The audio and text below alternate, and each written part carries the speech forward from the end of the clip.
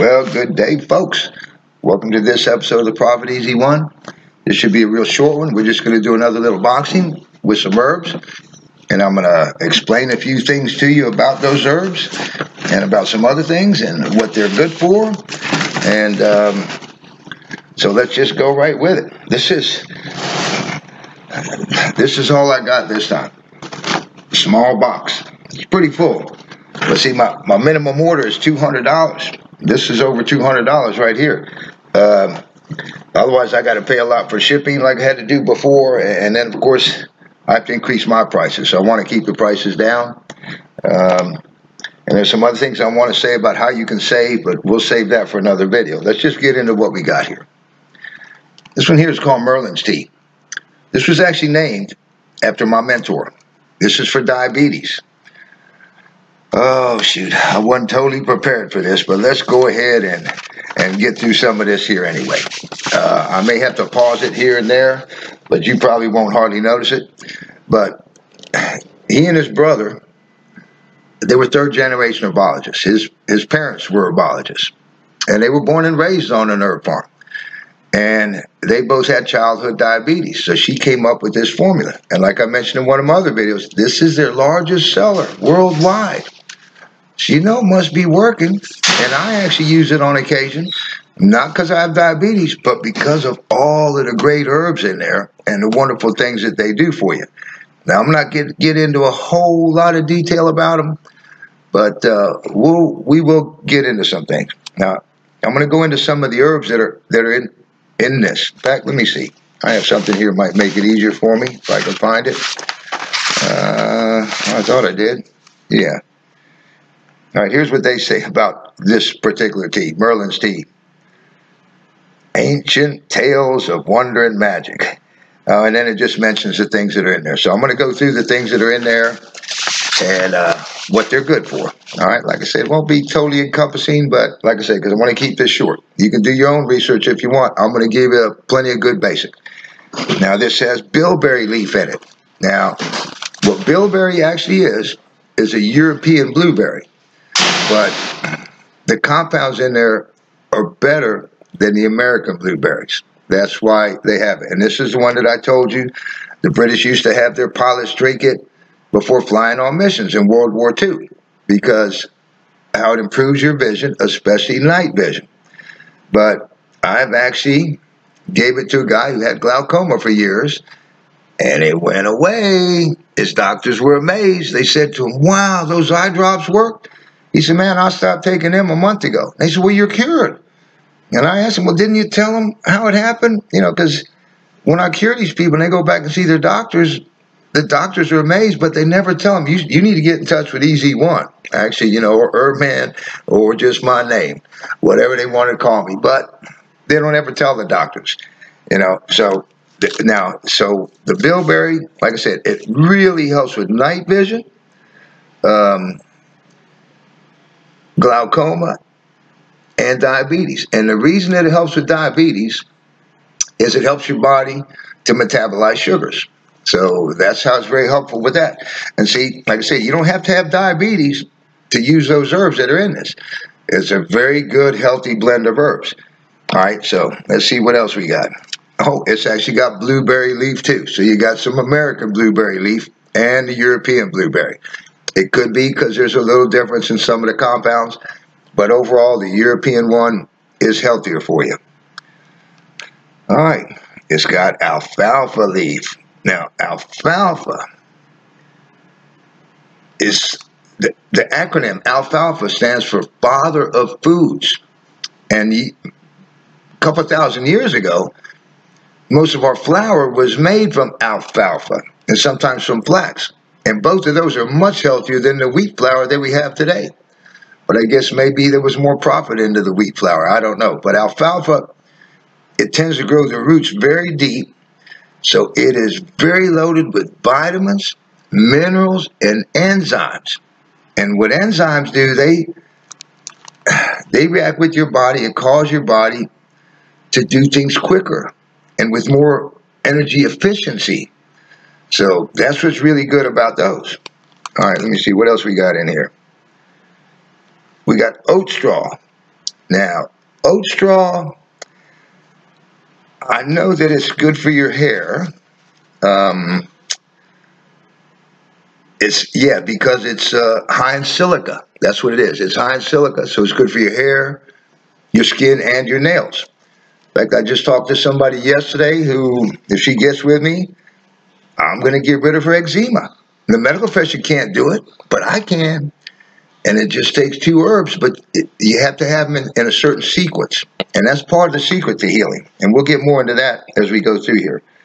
All right, let's see what else we got in. Dandelion, that weed that grows in your yard, the one that make people make dandelion wine out of it, dandelion salads super nutritious for you. And it is actually, believe it or not, it's a weed, but it's one of my favorite herbs. And it, it helps work as a liver cleanser.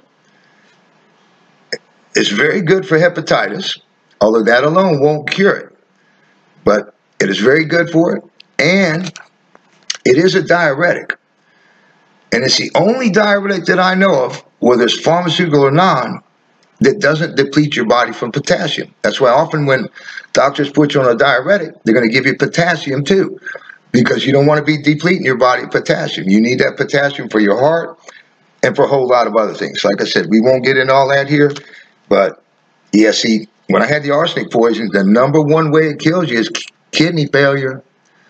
Even though my heart was so bad, so definitely I used plenty of dandelion root to treat my kidneys, and the doctors were amazed.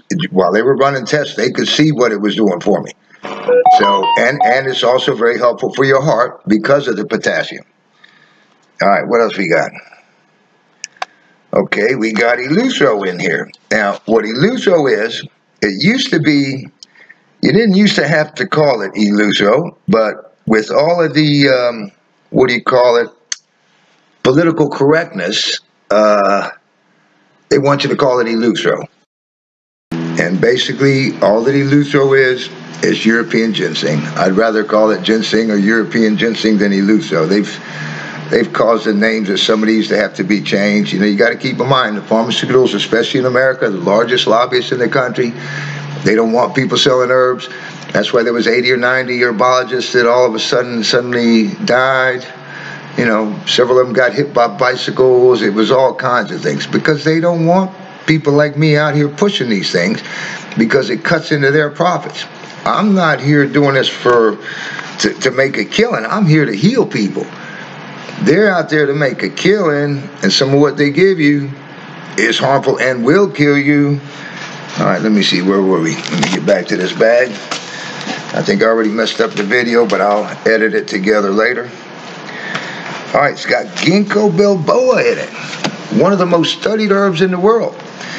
And ginkgo biloba, like I've said before, a lot of these herbs, when your body gets these compounds that are in the herbs into it, it'll get into your kidneys, liver, and other organs, and it'll break some of these compounds down and add maybe some more compounds, maybe some other nitrogen and oxygen or different things, and it knows where to take it in your body, just like the bilberry. It, it helps it to go to your eyes. And several other herbs do that, like uh, eyebright, an herb called eyebright, marijuana, like, like I've mentioned before. If you smoke some marijuana, it's not going to make all the blood vessels in your body stick out but it sure will make your eyes red. Mm-hmm. Because your body sends some of those compounds directly to your eyes. And your body does that with a lot of these compounds. It might send send plenty to your liver, to your lungs, to your heart, to different things in your body. Let's see, what else? Oh, oh, and one of the things that they've shown about the ginkgo biloba, and see, when I had the arsenic poison, I was a total mental retard for, for a while. I mean, I was really in bad shape. And so I was using ginkgo. I still use it. If you saw my other video where there's some herbs there in my kitchen cupboard, that's one of the things that are in there. And I'll often add a couple of teaspoons of that to certain other blends that I'm doing just to help improve brain function. And they've proven that it can improve brain function up to 15%. So for people with dementia and that sort of thing, Alzheimer's, this is a great herb to have. Uh, um, and, and so is blessed thistle and there's a couple others and they do break the blood brain barrier and take nutrients and or oxygen to your brain so in fact there's so many herbs that actually break the blood brain barrier which like i said i'm not going to get into all that here we're still in the first bag here. So let's get through this unboxing. All right, what else we got in here? We have uh, Uva Ursi. Now, Uva Ursi is another thing that's very good for your liver. Now, keep in mind that uh, diabetes will affect your liver. Yeah, it's going to affect a lot of things in your body. So, what herb were we on here? We were on the Uva Ursi. Now, the Uva Ursi is great for your spleen, your bladder, and kidney infections. So, for spleen, bladder, and kidney infections, it's very good. It's also helpful for diabetes and for cystitis. So, it's a very good herb, and like I said, it also does a, a lot of good things for your liver. Um, okay, let's see what else we got in here. I already put it down, trying to get to the next thing. Let's get this one done. Okay, it's also got stevia. Now, stevia is a, a sweetener, and it's really good for your pancreas. I've been giving it to people for the for who are diabetics for 17, 18 years, and now all of a sudden they're realizing that yeah it's really good for you. So now they're making stevia in sugar packets. But see that's just a pharmaceutical that you get there. You, you, actually you have to have the leaves because they're not taking all of those good compounds that are in the leaves. They're figuring out they've chemically figured out in the lab oh well what is it in there that's so sweet and then they synthesize that in the lab and they don't give you those other things and uh, you know I, I, I don't want to get into the some herbs and explain how that, that works. But let me tell you, God knew what he was doing when he made these things. You know, he, he has compounds in it that'll give synergy to other compounds and compounds in it that fight the side effects in your body. And actually the the sweetener that's in stevia is over 200 times sweeter than table sugar. Of course, high fructose corn syrup is much sweeter too. So that's why they push that because it's cheaper for them, but it's very harmful for you. Whereas the stevia is very good. What I often do, in fact, I need to get more to just plain stevia because I can take a pot of coffee. Now I like to sweeten mine. I don't use white sugar at home. I'll use honey or molasses or um, there's a few other things that I use, uh, agave, different things like that, because those are much healthier for you. Whereas table sugar, I can't really think of any good health benefits for it. You know, it might be good if you need some quick calories, but they're empty calories. All right. So, what else did I want to say about stevia? Well, see, diabetes, the biggest problem is your pancreas. So you definitely want to have stevia. Oh, what I do is I can make a, a whole 10, 12 pot pot cup of coffee, and I'll just put one teaspoon of stevia of dried leaves on top of it and let it run through, and it sweetens the whole pot. You know, it's a different taste from sugar, but it's very sweet, and it's in quite a few of the blends like this, and, and gives the tea a great taste, a great flavor, and great health benefits with it. Okay, what else? Oh, it's getting darker out here. Cinnamon, yeah. You know, they tell you take cinnamon for diabetes. And uh, Cinnamon actually helps with quite a few things, and I just picked up some more the other day for my house because I'll put it into a lot of things. Sometimes I'll sprinkle it in my coffee, of course, oatmeal. Sometimes I'll put it in if I'm making some beans, you know, baked beans and that sort of thing. And just recently, it actually helps with cholesterol. My friend, I was just at his house today. He just got some herbs from me. He, uh, the doctors wanted to give him some pharmaceuticals. And he said, Oh no, I don't do pharmaceuticals. And this guy's a health nut, you know, and he's got cupboards full of my herbs and all kind of supplements and different things. And he's always calling me for advice, see what I know about certain things. And what I know, I'll tell him. What I don't, I'll do research. Although he's a pretty good researcher too. He's researching some things for me right now. Um, so they told me that cinnamon helps with that. And I said, well, you know, I've never known it to be good for that. But yeah, I checked out on the, on the medical research that they did on it, and it'll bring it down some if you're using it. But you kind of ha have to use a good bit. I just use it as often as I can in my cooking, along with a lot of my other herbs. And, you know, you got to consider back in the day, like when I took history, maybe some of y'all remember if they taught it to you, you know, we had the Dutch Indies or East Dutch Indies Company and all these things. And they were fighting wars all over the world to go get herbs. And they weren't fighting these wars to get these herbs because they taste good in your food. They were getting them from medicine because that's what they've been used for historically. And that's that's one thing my mentor really knew about. His two theses that he did on his two PhDs. One did with herbs throughout history, and the other one did with the herbs of the Hebrew nation. So it's very interesting. I, I tried to get copies of his papers, but at the time he told me, Raul, he said, those things, you know, there's, they've been around for so long, I would have to dig them out. Anyway, let's forget about that. Okay, and the other thing in here is uh, peppermint. And peppermint is a very good digestive aid. It tastes good and it does a lot of other things too. In fact, just about all of the mints are very helpful for your digestion. And I do mention that in another video. Oh, okay. They also sent me here a little sample packet of uh, what's called Female Balance. Now, when I was in the Keys, this was tied for my second biggest seller. And I won't go through all of that right now, maybe some other time, because I do have it at home in the large bags, and we'll go through and break that down. But if you're a woman who's going through the change of life, you, you're not going to find anything out there better. And if you go to the doctors and get those things that they will give you, you might end up with breast cancer. You're much better off to take this. Yep, female balance. And and you're gonna be so grateful. You're gonna be able to sleep without the night sweats. You're not gonna have all these mood swings that drive your husband and friends crazy.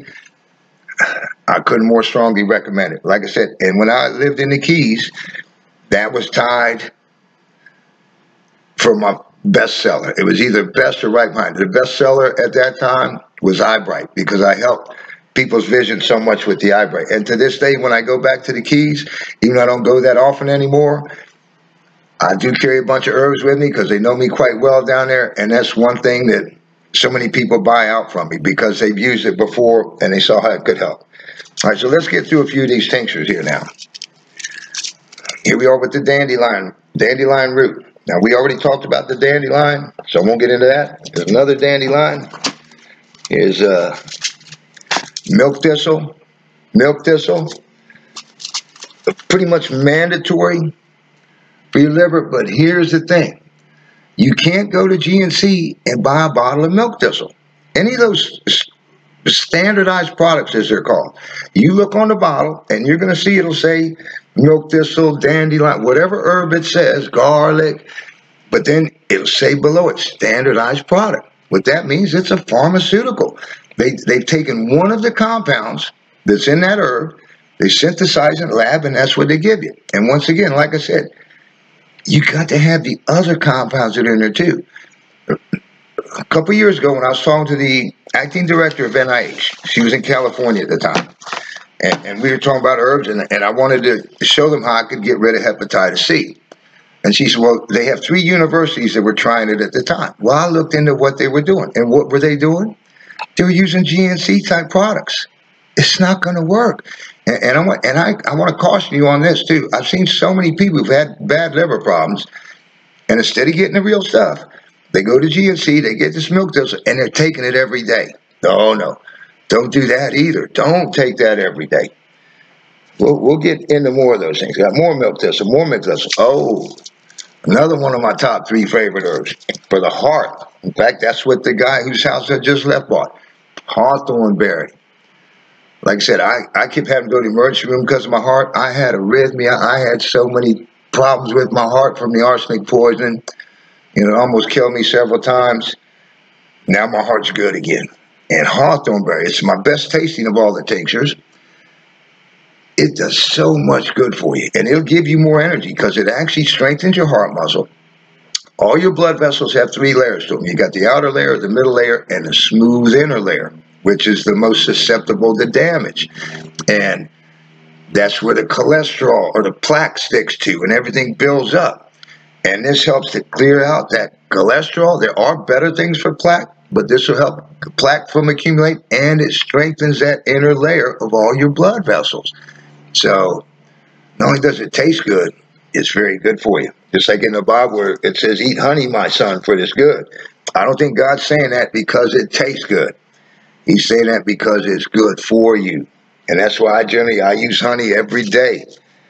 All right, I got it. More hawthornberry, more milk thistle, and more Merlins. And now let's get into a few individual herbs. Turmeric.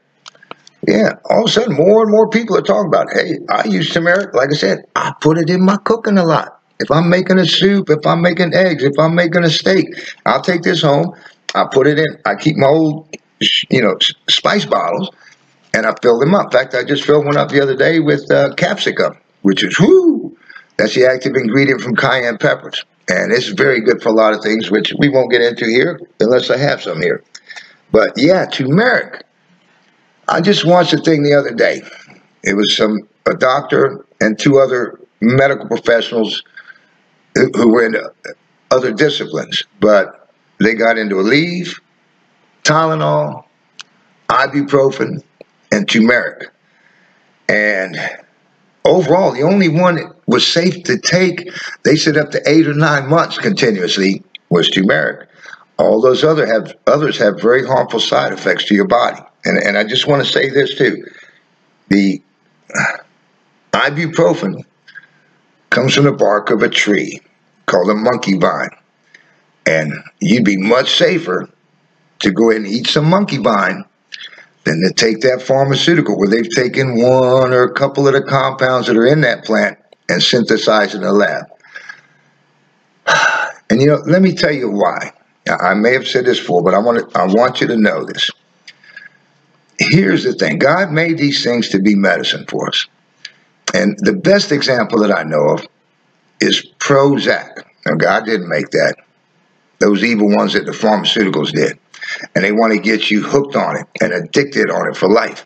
And it has all kinds of side effects. It can make you be suicidal, make you want to go out and kill people. I mean, it's not something good to be on. And they want to get you on it and keep you on it. So you keep having to come back and pay for your doctor's visits, keep getting your prescriptions.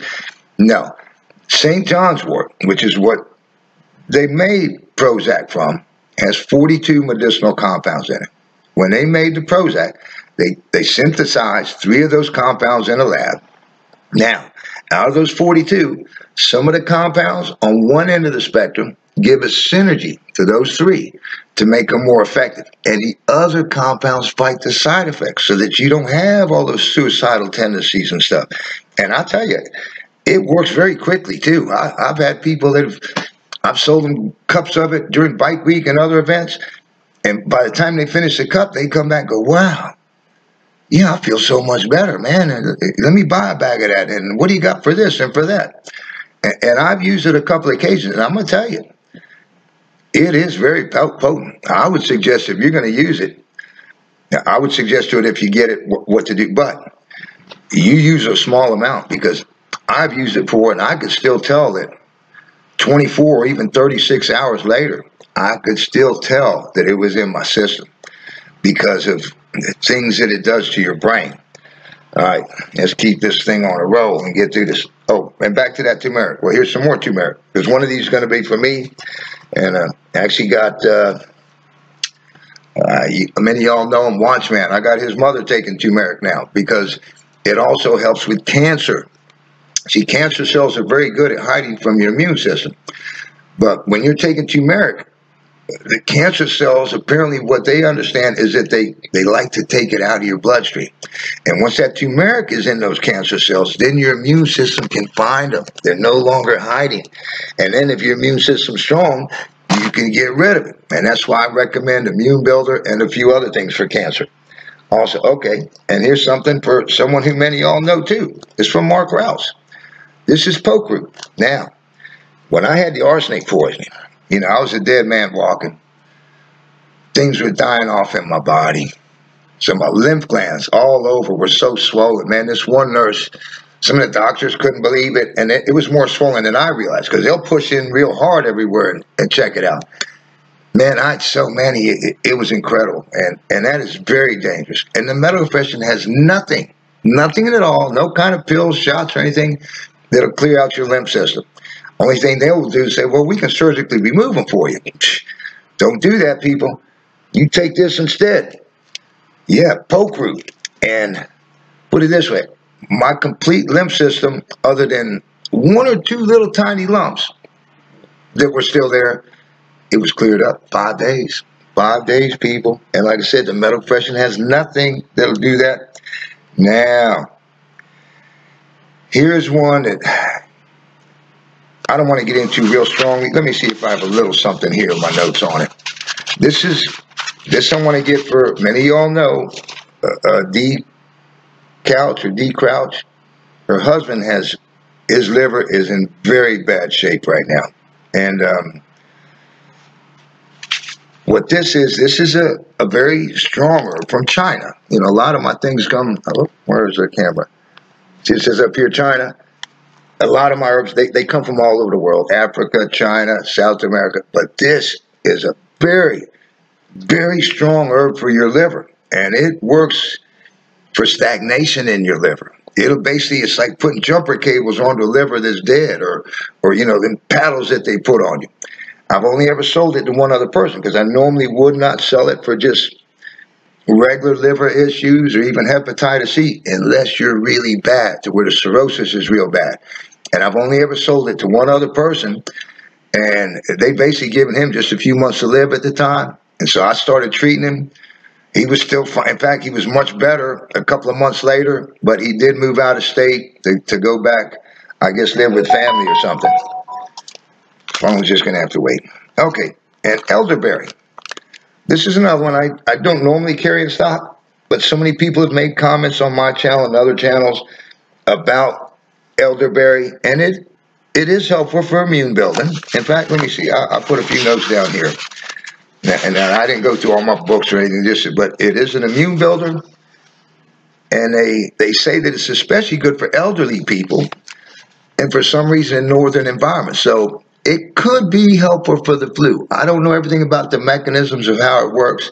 I'll have to do more research on that. But other people have done a lot of research, and so many people, like I say, keep suggesting it. So I did get a, few of them. All right, what else I got here? Ooh, yeah. Another one, it, probably in my top seven favorite. And then the for China, it's way up there in one of their top favorites. Fo Tai. This thing I've had a couple of people, in fact, that guy Tom that I interviewed recently, I'm sorry the volume didn't come out well. He, uh, used to shake like a leaf. And uh, like he says on the videos, because of all his former drug use and everything. So he was saying he had Parkinson's, and I happened to go by his house, and he was doing a bunch of research on Parkinson's. I said, oh, no, Tom, you don't need all of that stuff. This is what you need. Where is it? Fo Tai. Now, I generally don't sell it in this powder form, but right now I'm still waiting for them to get it in the uh, tincture form. And the reason I don't like selling it in the powder, it does kind of like cinnamon. If you put it into a, a liquid, it doesn't really dissolve much. It just tends to sit there, although that's okay. You get it into your system, your system will take care of it. Um, but, yeah, when I had the arsenic poison, man, I used to shake uncontrollably at times. My whole body would be shaking. Oh, man. And I use that Fo Tai. And man, the shaking got less and less. It usually it works within about three to five days. If you have Parkinson's and you take this, and I have so many, I have five, four people wanting it right now, and I'm still waiting. Uh, they're doing what they can to get it for me, but it takes time to put it together. But uh, yeah, that stuff was amazing. And then, you know, I used it for a while. Once the uh, shaking got down, then uh, I stopped using it, but I still need it from time to time because it's amazing what it does for your nerves. And what it does is, is two things. It helps protect your nerves and to rejuvenate, to help your nervous system to expand. And, and it works so well that at times, so it would work with sciatica and other things, but I've seen that at times, as it's regenerating the nervous system, occasionally some people get a little bit more pain the first few days because it is regenerating. But that soon gets taken care of. And the only other thing that I have in this batch, I think, other than what's this here, oh, some arthritis tincture. Now this stuff, same thing. When I had the arsenic poison, I had arthritis throughout my body. I could hardly do anything.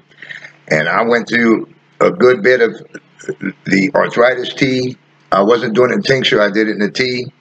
And it's amazing how that it made all the swelling go down and the lumps go down and everything.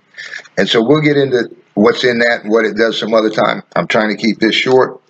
And the only other thing I got was a special order for someone, ashwagandha. And like I say, it's another one that I've never carried. I didn't even know that we carried it, although we carry over a thousand different herbs. Um, but she done her research. She wants it. She's gotten a lot of things from me in the past. And maybe I get to interview her sometime too. But uh, shoot, I don't recall off the top of my head right now just what it's good for. But anyway, folks, that's what I got. Uh, I've already got an order partially made out and probably put it in next week. But like I said, you know, my minimum order is $200 and uh, I generally get a lot more than that. But if you saw that other video where I have all those herbs that are expired now, I can't afford to keep stuff around and have it go bad. You know, that's really, I looked at it again this morning, that's over a thousand dollars worth of herbs that I'm going to either have to use up or, or throw away or give away because I'm not going to sell outdated herbs. And not to say that some of those are, are, bad. And I did have a guy, he wanted to buy some things I had were outdated to help him with his gout. But when I went back and checked them out, because I told him, oh, I'll, I'll give them to you real cheap, you know, for next to nothing. But when I checked them out and I tasted them, I could tell from the taste that they weren't good anymore. You know, I, have heard said that, you know, marijuana after six months is no good. Well, that's not true. It, it can still be good much longer after that, just like they'll tell you on can or packaging that you get, you know, the best by date. That, that's what this kind is, best by dates. But eventually, things do go bad. So I try to keep my stock fresh. Um, so that's all I got for that. I, I'm somebody's been calling me right now. I'm scheduled to be on a live stream here shortly, so I'm gonna do that. But if, you have any questions, go ahead and uh, email me or leave a comment here. Or if there's a particular herb you need, you let me know, and uh, I'll let you know about it and we'll take it from there. All right, everybody. Peace out. But before we go, I got to remind you, read your Bible. Pray. Repent from your sins. Uh, I don't want to get deep on that right now. But you need to do those things. And keep in mind that these herbs, this is God's medicine. This isn't pharmaceuticals. This is God's medicine. 93% of things that I sell are safer than caffeine safer than caffeine. And yet caffeine can kill you. Yeah, you go you go make you two 12 cup pots of it and drink them up. You might die. But who's going to drink 24 cups of coffee? So that's still pretty safe. All right, folks. Until the next video, I'll see you. Subscribe if you haven't already, because I'm going to give you plenty more about herbs. I'm going to give you plenty more about the end times. I'm going to give you things that are going to help save your soul and your life to save your health so that you can live healthy. You know, like I said before, God says, above all things, my brethren, I wish that you would prosper and be in good health. All right, later, folks.